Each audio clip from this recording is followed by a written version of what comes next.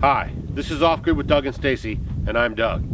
We are building right now a greenhouse using Tuftex panels. One of the main questions that we get while we're using Tuftex panels is will it stand up to hail? Hail and wind are not a problem for Tuftex panels. Right now I'm going to give you guys a demonstration of what a Tuftex panel can handle.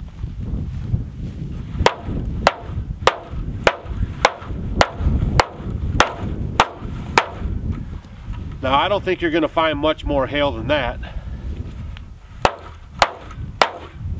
But just in case,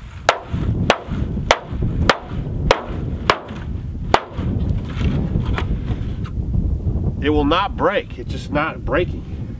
Sure, you can see some indentations on the panel, but you're not going to see any holes created by that hammer.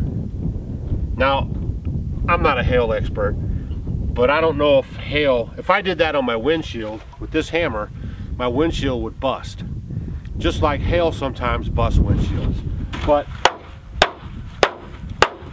I am not holding anything back while I hit this panel. And you can see there are some indentations, but the panel is never penetrated. And it still maintains a clear view, so it still could be used on your greenhouse for your paneling. Also, show you guys here that it twists up you know if the wind's really bad it twists up but it doesn't you know it kind of goes back to its form it doesn't lose its form so I just wanted to show you guys this um, because we are building. That's why the video is titled the way it is because we're building with these Tuftex panels and this is a question that we get often. So I just wanted to show you. Now, with the claw end of the hammer, it took two hits and I finally penetrated the uh, Tuftex panel. But on the flat end, so if you're thinking about building a greenhouse, you might want to consider Tuftex panels.